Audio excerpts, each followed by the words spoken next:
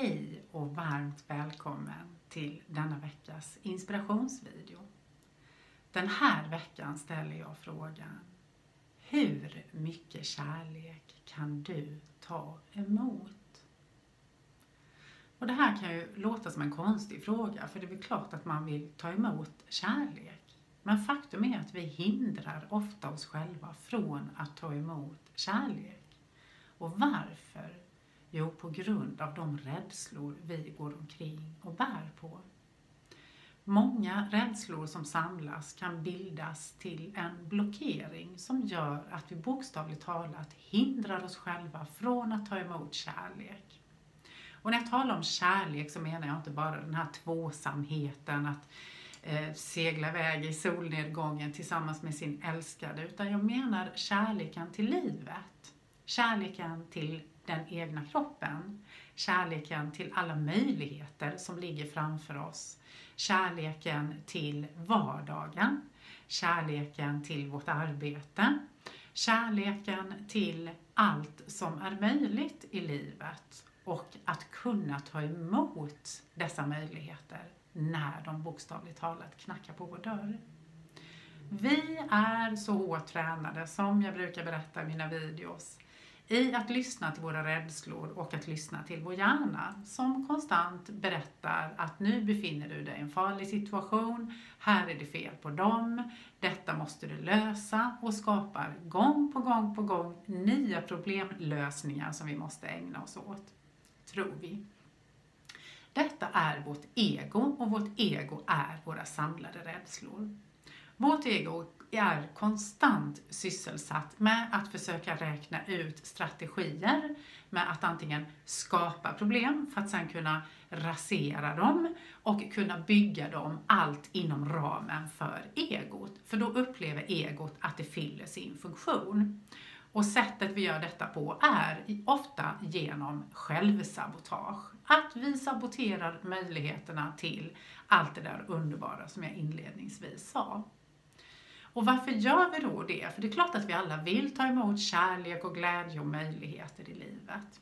Jo, det är för att vi som sagt har börjat lyssna mer till den här än till det här, alltså hjärtat. Hjärtat kanske vi har stängt igen i rädsla för att vi inte ska få det vi längtar efter eller i rädsla för vad som händer om vi faktiskt börjar ta emot kärlek på allvar. För vi kanske inte ens vet vad det är.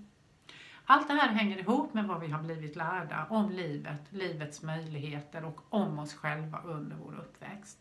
Det här handlar det inte om, och det brukar jag alltid poängtera i mina videos, mina föreläsningar och mina böcker, om att skuldbelägga våra föräldrar. För oftast gjorde de så gott de kunde utifrån vad de har blivit lärda.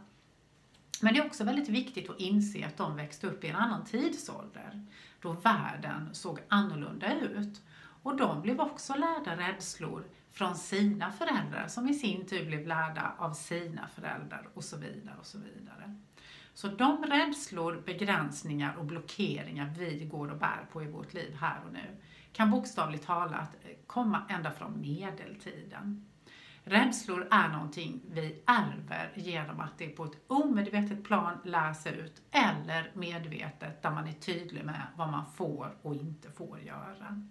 Så det handlar om att våga börja lära av allting, att börja syna de här rädslorna i sömmarna och faktiskt våga börja gradvis landa ner mer och mer och mer i hjärtat och börja följa hjärtats väg.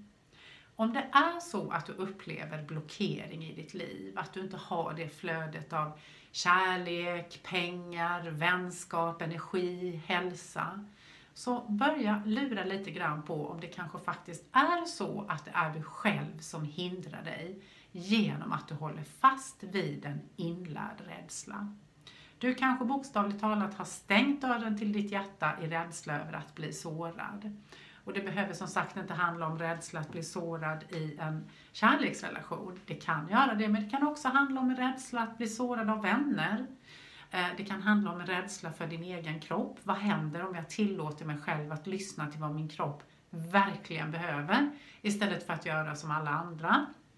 Några exempel kan vara till exempel det ständiga drickandet av alkohol eller att röka eller att döva kroppen och kroppens känslor genom eh, att äta på ett visst sätt eller vad det nu kan vara. Också träning, överdriven träning kan vara en flykt från oss själva. Så börja kika lite granna på vad det egentligen finns inuti dig som hindrar dig från att ta emot kärlek. För kärleken finns. Den finns alltid där för dig. Den har alltid funnits där för dig. Men ofta håller vi upp olika murar och försvar för att vi är så rädda för den här kärleken. Och rädslan stammar i att det vi inte känner igen, det vet vi inte att det tillhör oss. Men kärleken tillhör dig, nu och alltid. Så våga börja kika lite på dina blockeringar och ta hjälp av en terapeut om du kanske behöver för att lösa upp dem. Stort lycka till i ditt utforskande av kärleken och i din förmåga att ta emot ännu mer, rullar bokstavligt talat ut sin röda matta framför dig när du vågar börja vara villig att ta emot av kärleken. Och ett mantra du kan använda dig är Jag är nu redo att ta emot ännu mera kärlek i mitt liv. Säg gärna den meningen högt eller inom dig. Stort lycka till i ditt utforskande av kärleken. Du får väldigt gärna kommentera videon här under med dina tankar kring det här.